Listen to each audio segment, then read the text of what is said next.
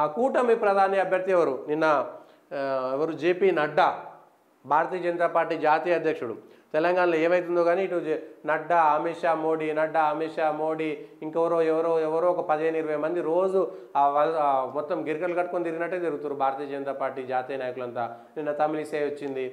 అంతకుముందు అమిత్ షా వచ్చిండు మోడీ వచ్చిపోయిండు నడ్డా వచ్చిపోయిండు మళ్ళీ ఏదో నిజామాబాద్లో ఒక ముఖ్యమంత్రి వచ్చిండు కరీంనగర్కి ఒక ముఖ్యమంత్రి వచ్చిండు నాగర్ కర్నూలుకు ఇంకో ముఖ్యమంత్రి వచ్చిండు ఒక నలుగురు ఐదుగురు ముఖ్యమంత్రులు వచ్చిపోయారు మళ్ళీ నిన్న నడ్డా ఎక్కడొచ్చిండు? కొత్తగూడెం. ఏది? ఖమ్మం. ఖమ్మంలో కూడా భారతీయ జనతా పార్టీ ఇడిచిపెడతలేదు. ఖమ్మంలో మాకు లేరు నల్గొండలో మాకు లేదనేటువంటి పరిస్థితి లేకుండా పదిహేడిట్లలో అట్లే కష్టపడుతున్నాం మరి ఏమైతే చూడాలి? మానుకోట కొత్తగూడెం సభల్లో బీజేపీ చీఫ్ నడ్డా పక్కాగా ప్రచారం చేయాలని నేతలకు సూచన. మళ్ళీ ఇక్కడ ఎక్కడ నిజాంపేటలో ఎక్కడో కూడా ర్యాలీ చేసిర్రు. నిజాంపేటలో కూడా ఎక్కడో ర్యాలీ చేసిరు అంటే ఒకే రోజు మూడు సభలు జేపీ నడ్డా ఇస్తే ఇవాళ హైదరాబాద్కు మోడీ వస్తున్నాడు. ఇవాళ నేడు రాష్ట్రానికి మోడీ. మాకు మోదీ మరి మీకెవరని నిన్న అన్నదే. నేడు రాష్ట్రానికి మోడీ. ఆందోళన సెగ్మెంట్లో అల్లాదుర్గులో సభకు పిఎం మెదక్లోకి వస్తున్నాడు. మెదక్ లోక్సభలో ఆల్రెడీ పటాన్చేరులో ఒక సభ నిర్వహించిండు. ఇప్పుడు సంగారెడ్డి పక్కనే ఉండేటువంటి అల్లాదుర్గంలో ఒకటి సభ పెడుతున్నాడు. అటు జహీరాబాద్కు ఇటు మెదక్కు కలిసి ఒక పబ్లిక్ మీటింగ్ అయిపోతుంది. సో మెదక్ జహీరాబాద్లో మళ్ళా భారతీయ జనతా పార్టీ ఎందుకంత ప్రత్యేకంగా ఉంటుందో చూడు. మెదక్ గడ్డపైన నరేంద్ర మోడీ ఏం మాట్లాడతారు ఏం చేస్తారు అనేటువంటిది కూడా ఉంది. జహీరాబాద్ మెదక్ జనసభలో ప్రధాని పాల్గొంటారు. జహీరాబాద్ ఎంపీ అభ్యర్థి B B Patil Medak parliament నియోజకవర్గ అభ్యర్థి రఘునందన్ రావులకు మద్దతుగా అక్కడ ప్రచారం నిర్వహిస్తారు. సో ఇది ఒక్కటే కాదు మళ్ళా మోడీ మూడో తారీఖు నాలుగో తారీఖు కూడా ఇటు నారాయణపేట చేవెళ్ళ భువనగిరి నల్గొండ వరంగల్ కలిపి ఒక సభ ఇట్లా మూడు సభలు పెడతాడని మళ్ళీ ఒకటి వస్తుంది. మళ్ళీ పదో తారీఖు కూడా సర్ప్రైజ్ విజిట్ హైదరాబాద్లోనే ఇంకొక సభ పెడతాడు అనేటువంటిది కూడా ఇంకొక చర్చ. అంటే ఆల్రెడీ ఐదు సభల్లో వచ్చి ఇప్పుడు ఒకటి వచ్చి ఆరు సభలు మళ్ళీ ఒక నాలుగు సభలు. పదిహేడు లోక్సభలకు పదిసార్లు ఒక నరేంద్ర మోడీ వస్తే అమిత్ షా మళ్ళీ రేపు ఒకటో తారీఖు అమిత్ షా ఇక్కడికి ఇది ఓల్డ్ సిటీ పాత బస్తీల అది గౌలీపుర లాంటి లోపలికి ఉన్నటువంటి ఒక గల్లీలకు అమిత్ షా ర్యాలీ చేస్తున్నాడు.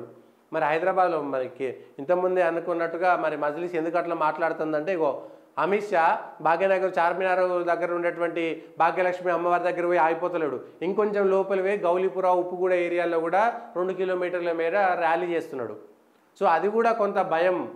సో తెలంగాణలో ఏం జరగబోతుంది అనేటువంటి దానికి ఇది ఒక నిదర్శనం. ఎవరెవరి మధ్యన పోటీ ఉందనడానికి ఇది ఇంకొక నిదర్శనం. ఇది విషయం. రెండు రోజులు మండే ఎండలు. దయచేసి పొలిటికల్ వాయిస్ తరపున విజ్ఞప్తి ప్రజలు అవసరం ఉంటేనే బయటికి వెళ్ళండి.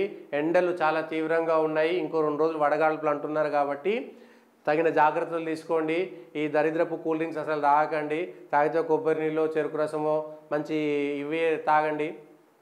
లేదంటే నిమ్మకాయ నీళ్ళు వెండుకొని తాగండి మంచి కుండల నీళ్ళే తాగండి ఫ్రిడ్జ్లో నీళ్ళు పెట్టుకొని అస్సలు తాగొద్దు.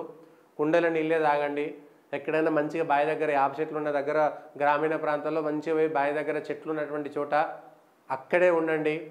పశువులకు మేత నీళ్ళు దయచేసి గ్రామీణ ప్రాంతాల్లో ఇప్పటికే కరువు లాంటి పరిస్థితులు ఉన్నాయి కాబట్టి పశువులకు మేత ఉందా లేదా పశువులకు ఒకటికి రెండు సార్లు నీళ్ళు దాపిస్తున్నామా లేదా చిన్న పిల్లలు ఉండేటువంటి వాళ్ళు బయటికి వెళ్ళేటప్పుడు పిల్లల్ని జాగ్రత్తగా చూసుకోండి.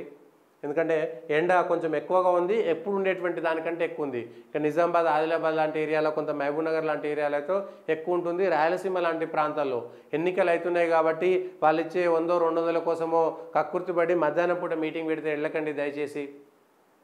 ఎందుకంటే బ్రతుకుంటే బలసాగ తినవచ్చు కానీ అనవసరంగా ఇబ్బంది పడేటువంటి పరిస్థితి లేదు. ఎందుకంటే ఉపాధి హామీకి సంబంధించి ఎనిమిది ఏడు గంటల నుంచి పది గంటలకు పోతేనే ఎండలు ఎట్లా ఉన్నాయో చూసినాం. మొత్తం క్షేత్రస్థాయిలో వెళ్ళినప్పుడు.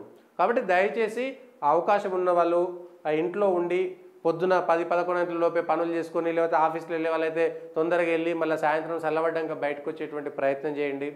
వీలైనంత మట్టుకు మంచిగా మజ్జిగ తాగేటువంటి ప్రయత్నం చేయండి. కొబ్బరి నీళ్ళు చెరుకు రసమో నిమ్మకాయ నీళ్ళు తాగేటువంటి ప్రయత్నం చేస్తే డీహైడ్రేషన్ కాకుండా ఉంటుంది.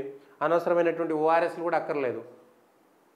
ఉన్న దాంట్లో మంచి మనకు గట్క అంబలి రాగి అంబలి గట్క అట్లాంటివి తాగేటువంటి ప్రయత్నం కూడా చేయండి.